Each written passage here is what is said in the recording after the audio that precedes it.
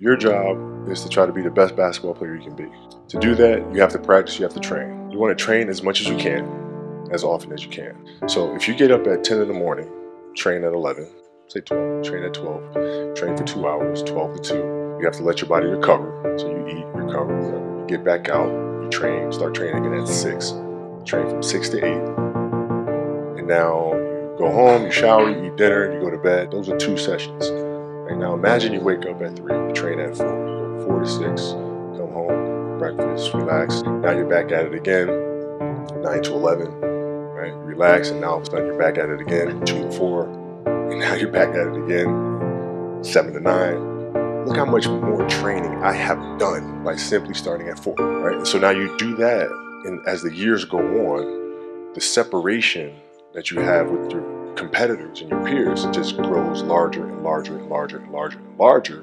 By year five or six, doesn't matter how, what kind of work they do in the summer, they're never going to catch up because they're five years behind.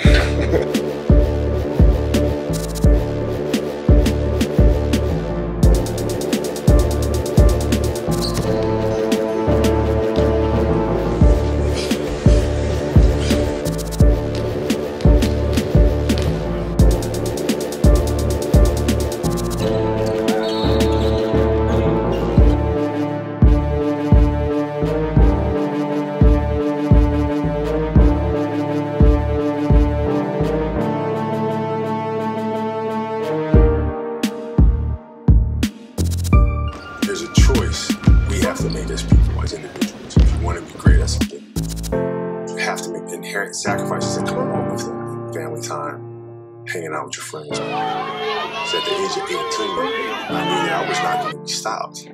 This was my life.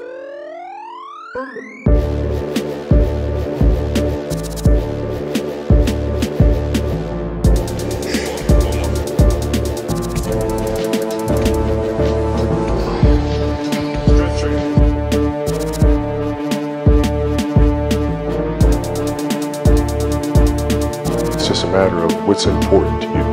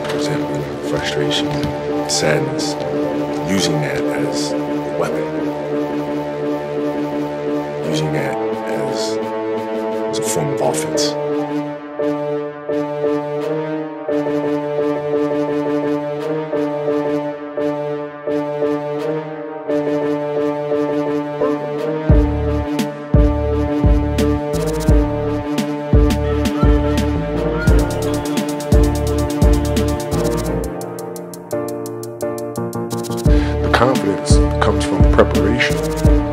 So when the game's on the line, I'm not asking myself to do something that I haven't done thousands of times before.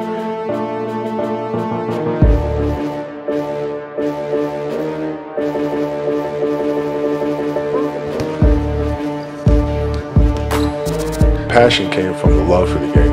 I loved everything about it. Like the smell of the ball, the smell of like brand new sneakers, like the sound the ball makes when it hits the ground, the ball going through the net, like all those things I, I love. And so the passion comes from that.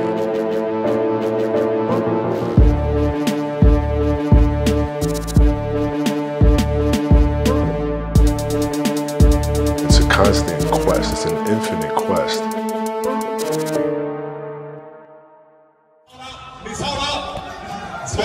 Oh, oh, oh, Everybody has their own. It's your job to try to perfect it and make it as beautiful of a canvas as you can make it. And if you have done that, then you have lived a successful life. You have lived with Mamba mentality.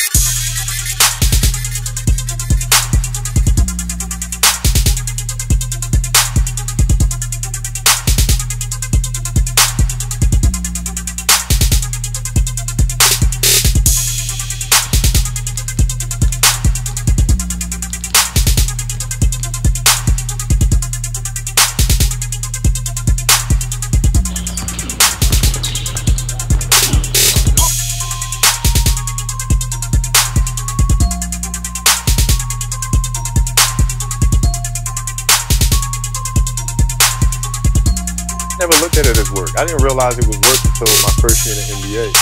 When I came around, I was surrounded by uh, other professionals. And I thought basketball was going to be everything to them, and it wasn't.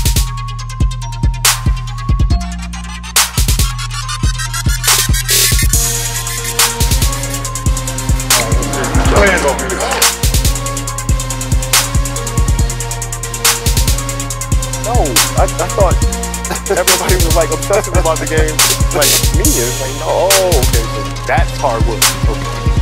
he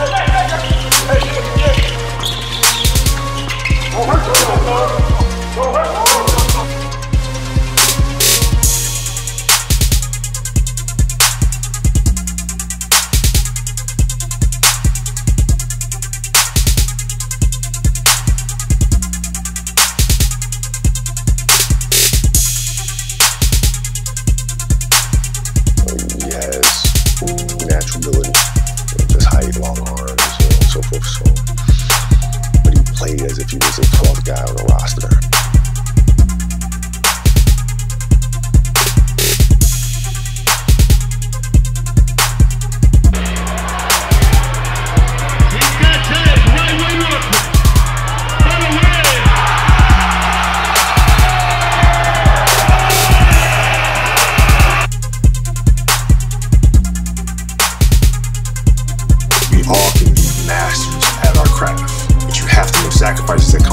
Making a decision.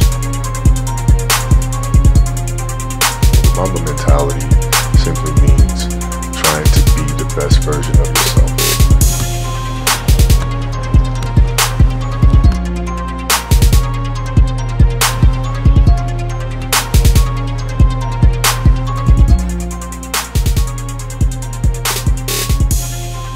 I, felt like I didn't feel good about myself if I wasn't everything I could to be the best version of myself. Come on, elbow, come on, elbow.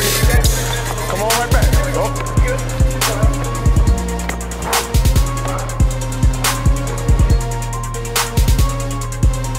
Kobe Bryant, 60 points.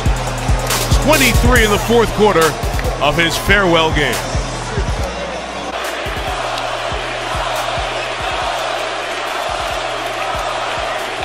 What can I say?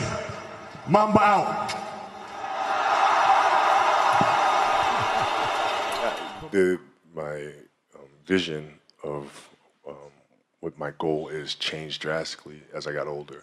So like as a kid, I said I want to be the best ever, right? And now you go through your life and everything you do is try to be the best ever, be the best ever, be the best ever. And as you get older, you start understanding that those things are very superficial things, right? And everybody has a different opinion about it. No matter what you do, I can win 20 championships. There's always an opinion on who's the best. Everybody has different opinions.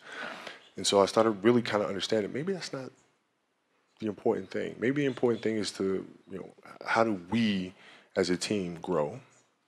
How do I help my teammates be better? So that was the first change for me.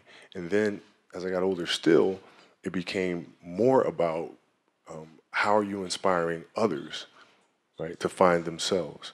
That is the ultimate championship. So won five championships, that's great. Another team won a championship this year. Team's going to win a championship next year. Those things come and they go.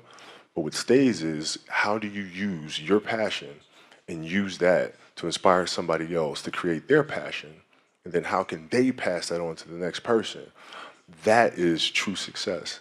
Um, so my goals have changed drastically from the time I was six years old to the time I was 17 to the time I was 25 and now sitting here at 37. It's very So- simple. You have to dance beautifully in the box that you are comfortable dancing in. right? So like everybody's box is different. My box was to be extremely ambitious within the sport of basketball. Your box is different than mine, right? Every kid here has their own box, but it doesn't mean that your box isn't as beautiful as mine, right? Right? So it doesn't mean you have to go out here and do all of these crazy things. I'll have to be like this person or that person. No, what are you comfortable being? What it is that what what is it that you want to do with your life? And once you have that, then you try to live it to the best of your ability.